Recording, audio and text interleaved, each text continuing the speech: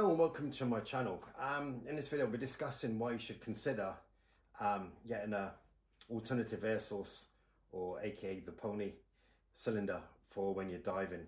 Now have you ever been in a situation uh, where you've been on a, a boat charter or diving with one of your buddies, you've done your buddy checks, you've got your dive plan and then you sort of jump into the water or enter the water and then within minutes, within the first minute of the dives or during the dive, you look around and you've basically lost your buddy or he's probably about 10 meters away from you looking at some interest in marine life.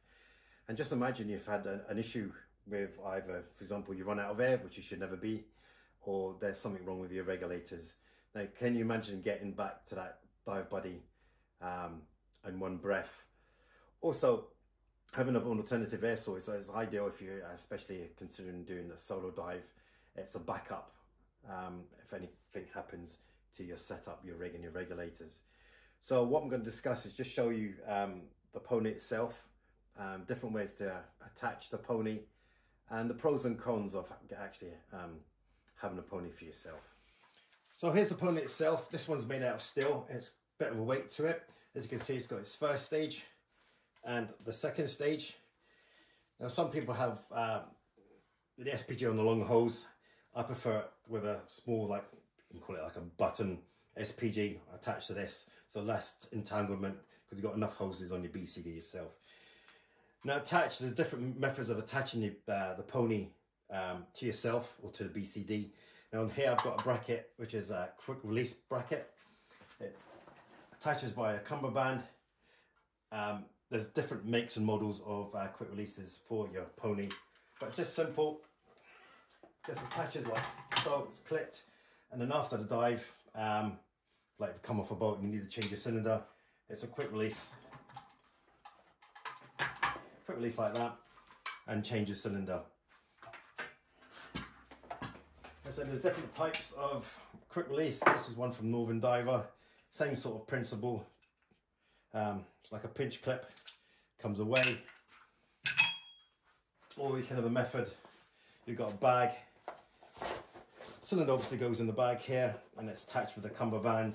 and all you have to do after the dive is just lift it out. It's just secured with a pull string and you just lift it out after the dive. Another method is to get, uh, you can get straps, two straps on the pony with D-rings and you attach them to your BCD uh, with boat snaps. Uh, I've seen some people have it across or under the arm such. And you can also have a strap. I've seen someone with a strap that goes around the neck um, as well. So you could try that method as well if you want to. So by you having a pony, it gives you that sort of comfort as well. Um, again, you probably can be more relaxed in the dive knowing that if you have lost your buddy or he's elsewhere, you've got this as a backup if that fails. And also if you ever consider a solo diver, it's highly recommended not just dive on one of these, you just need an alternative air source as a backup. So this is a hand bit kit, obviously if this fails, you, you're by yourself, there's no one to back you up. And of course, if you need to use this, it's a case of that's it, your dive's over and uh, start to ascend. Now the pros and cons, um, the pros for me is definitely the, the, the alternative sort of buddy. Um, um, having a, a pony like this. Um, again, it's that, as I said before, it's that reinsurance as well. Uh, you've got that backup air. Um, downside, it's the weight. You, um, with steel cylinders and especially dry suit diving, you've got this steel cylinder, 15 litres, and you've got your extra weight. So it's a, and this is still as well. So it's quite a lot of weight on your back.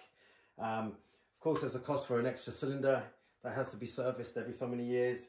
You've got a new set of um, first and second stage. That's got to be uh, surfaced as well. But if you can look over, see that there, I think in the case of any emergencies underwater, you can't put any uh, price on safety, that's for sure. So just to recap, the reasons why you should consider getting uh, an alternative air source or a pony. Um, one, it's self-reliant, it's that self-reassurance. Uh, probably a bit more relaxed underwater knowing that you've got a backup if anything goes wrong. You've got a dive buddy that is not close to you, like how it should be, or you're on boat charters and you've, you've paired up with somebody you've never dived before.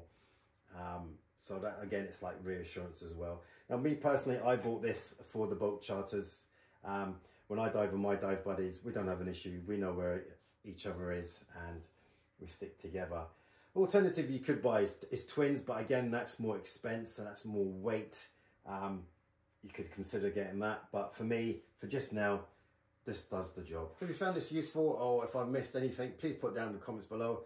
Uh, I don't think I have. Um, and again, if you've got any thoughts, uh, if you have a, a, pony, do you think it's uh, a bit of a waste of time and money? I would be quite interested to know your thoughts as well. And also guys, I uh, would be appreciate if you like my content. I've got lots of other videos on my channel.